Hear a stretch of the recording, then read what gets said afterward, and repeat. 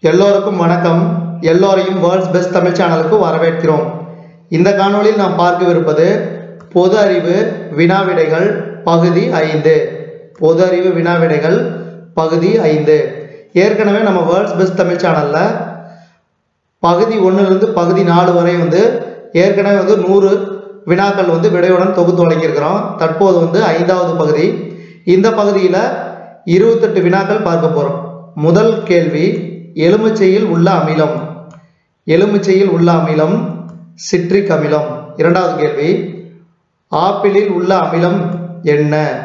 ஆப்பிளில் உள்ள அமிலம் ஆப்ஷன் பி மாலிக் அமிலம்.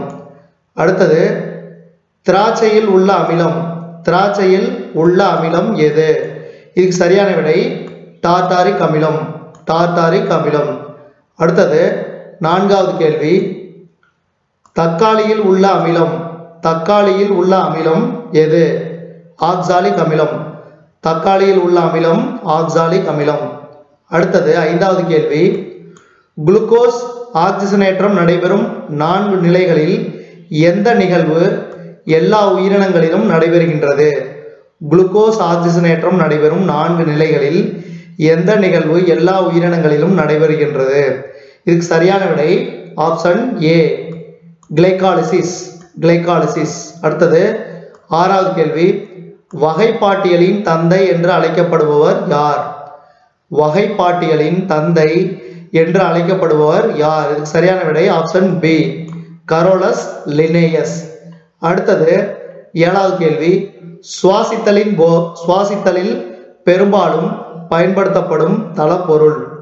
சுவாசத்தில் சுவாசித்தலில் பெரும்பாலும் பயன்படுத்தப்படும் தளப்பொருள். இதுக்கு சரியான விடை கார்போஹைட்ரேட்.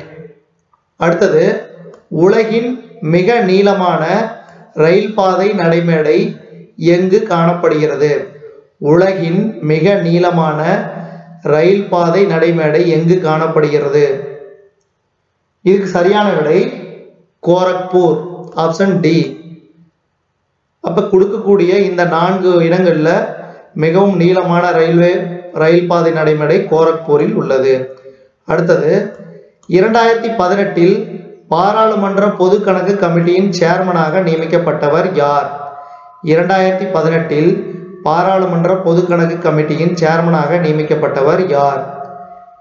இதுக்கு சரியான விடை ஆப்ஷன் டி மல்லிகார்ஜுன் கார்கே. அடுத்தது சில டைம் வந்து பாத்தீங்கன்னா இரண்டாயிரத்தி பதினாறு இரண்டாயிரத்தி பதினஞ்சு இரண்டாயிரத்தி பதினாலு எந்த கரண்ட் அஃபேர்ஸ் வேணாலும் கேட்பான் இது வந்து ஜென்ரல் ஸ்டடீஸ்ல வந்து அதாவது வந்து பாத்தீங்கன்னா கரண்ட் அஃபேர்ஸும் இருக்கும். அதே மாதிரி வந்து பாத்தீங்கன்னா சயின்ஸும் இருக்கும். அதே மாதிரி பாத்தீங்கன்னா சயின்ஸ்ல வந்து என்னென்ன பகுதி? இயற்பியல் வேதியியல் அதே மாதிரி விலங்கியல் தாவரவியல். அதாவது உயிரியல் இரண்ட பகுதி தாவரவியல் விலங்கியல் இதுவும் கேட்பாங்க அதே மாதிரி பாத்தீங்கன்னா புவியியல் சமூகவியல் பார்த்தீங்கன்னா புவியியல் குடுமியியல் குடிமையியல் அதே மாதிரி வந்து பார்த்தீங்கன்னா அரசியல் அதுக்கப்புறம் பார்த்தீங்கன்னா வரலாறு இது எல்லாமே கேட்பாங்க.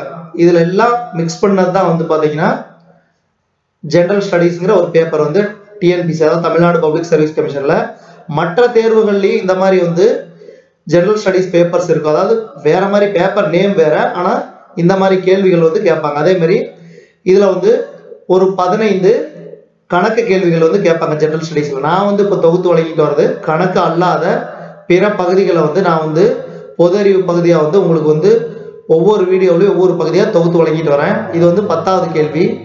இந்த பகுதி ஐந்தில் பத்தாவது கேள்வி. ஜனவரி இரண்டாயிரத்தி பதினேழில் இரண்டாயிரத்தி பதினேழாம் ஆண்டு ஜனவரியில் புகழ் கூடத்தினது புராதன மன்றத்தில் உள் அனுமதி பெற்ற விளையாட்டு வீரர் யார்? இதுக்கு சரியான விடை கபல்தேவ். பதினொன்றாவது பதினொன்னாவது கேள்வி. அன்னை தெரசாவுக்கு புனிதர் பட்டத்தை வழங்கியவர் யார்? அன்னை தெரசாவுக்கு புனிதர் பட்டத்தை வழங்கியவர் யார்? இதுக்கு சரியான விடை ஆப்ஷன் ஏ போப் பிரான்சிஸ் அடுத்தது இரண்டாயிரத்தி பதினாறு கோடை ஒலிம்பிக் பேட்மிண்டன் போட்டியில் ஒற்றையர் பிரிவில் இந்தியாவின் பி வி சிந்து நசோமி ஒக்குஹாராவை தோற்கடித்தார். நசோமி ஒக்குஹாரா எந்த நாட்டைச் சேர்ந்தவர்? இதுக்கு சரியான விடை ஜப்பான். அடுத்தது பதிமூன்றாவது கேள்வி. இரண்டாயிரத்தி பதினேழில் இந்தியா செயற்கைக்கோள்கள் அனுப்பியதில் ஒரே முறை அதிகபட்சமாக எத்தனை செயற்கைக்கோள்களை அனுப்பி உலக சாதனை படைத்தது? இதுக்கு சரியான விடை ஆப்ஷன் ஏ நூத்தி நான்கு செயற்கைக்கோள்கள். அடுத்தது பேடிஎம்ஐ தோற்றுவித்தவர் யார்? அதாவது ஆங்கிலத்தில் கேட்கணும்னா who is the founder of Paytm இதுக்கு சரியான விடை ஆப்ஷன் பி விஜய் சேகர் சர்மா. பேடிஎம்மின் ஃபவுண்டர் யாரு? விஜய் சேகர் சர்மா தான் தமிழ்ல தோற்றுவித்தவர். அடுத்தது பதினைந்தாவது கேள்வி. இந்தியா மற்றும் உகாண்டா இத்துறையில் ஒத்துழைப்பு விரிவடைய இருபத்தி இரண்டு பிப்ரவரி இரண்டாயிரத்தி பதினேழு அன்று ஒப்புக்கொண்டன. இதுக்கு சரியான விடை ஆற்றல் துறை ஆற்றல் துறை. அடுத்தது பதினாறாவது கேள்வி. பின்வரும் நகரங்களில் ஒவ்வொரு ஆண்டும் யானை திருவிழா கொண்டாடப்படும் நகரம் எது? பின்வரும் நகரங்களில் ஒவ்வொரு ஆண்டும் யானை திருவிழா கொண்டாடப்படும் நகரம் ஜெய்ப்பூர். அடுத்தது கியா கியோட்டோ நெறிமுறையின் நோக்கம் என்ன?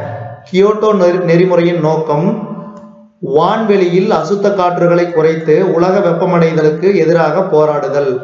அடுத்தது பதினெட்டாவது கேள்வி பதான்கோட் தாக்குதல் எப்போது நிகழ்ந்தது?